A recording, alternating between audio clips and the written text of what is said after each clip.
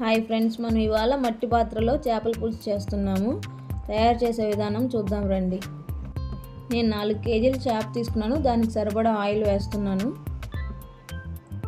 Oil కొంచెం వేడెక్కాక కొంచెం మెంతులు ఆవాలు జీలకర్ర ఎండుమిర్చి పచ్చిమిరపకాయలు బాగా వేగాక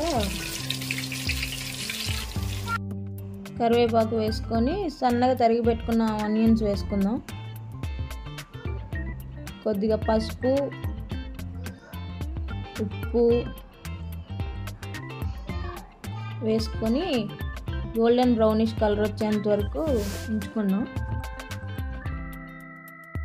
ఆనియన్స్ ఫ్రై అయ్యాక ఫ్రెష్గా చేసి పెట్టుకున్న అల్లం వెల్లుల్లి పేస్ట్ వేసుకొని అది కొంచెం పచ్చి వాసన పోయేంత వరకు కలుపుకుందాం.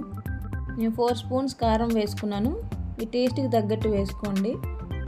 కలర్ కోసం కాశ్మీర్ చిల్లీ పౌడర్ వేసుకున్నాను. బాగా ఫ్రై అయ్యాక టమాటో వేసుకున్నాను. ఇప్పుడు ఒక రెండు నిమిషాలు మగ్గించుకుందాం. చింతపండు పులుసు పోసుకుందాం. కొద్దిగా కలుపుకొని ఒక గ్లాస్ వాటర్ వేసుకుందాం. దాంట్లోనే ధనియాల పొడి జీలకర్ర పొడి కొద్దిగా గరం మసాలా వేసుకొని కలుపుకొని కొద్దిగా టూ గ్లాసెస్ ఆఫ్ వాటర్ తీసుకున్నాం. దాంట్లోనే మామిడికాయ ముక్కలు వేసుకొని కాసేపు మగ్గించుకున్నాం.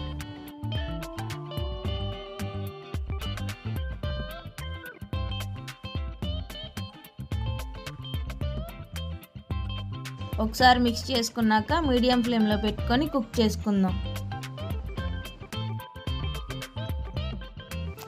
వేడి వేడి చేపల పులుసు రెడీ. ఫైనల్గా కొత్తిమీర వేసుకొని సర్వ్ చేసుకుందాం.